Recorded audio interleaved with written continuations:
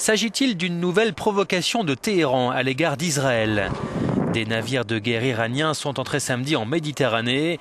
On ne connaît ni le nombre ni la nature exacte des bâtiments, mais selon le commandant de la marine iranienne, la manœuvre aurait pour but de montrer la puissance de la République islamique.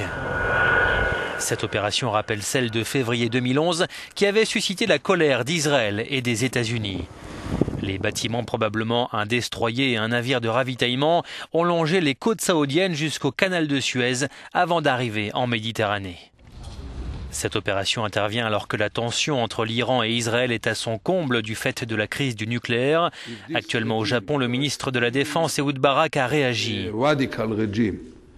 Si ce régime, qui est un régime très radical, se dote de l'arme atomique, il va être immunisé contre les renversements, comme l'était le régime de Kim Jong-il dans cette région. Cette opération iranienne en Méditerranée intervient après des attentats anti-israéliens en Inde et en Thaïlande que l'État hébreu attribue au régime de Téhéran.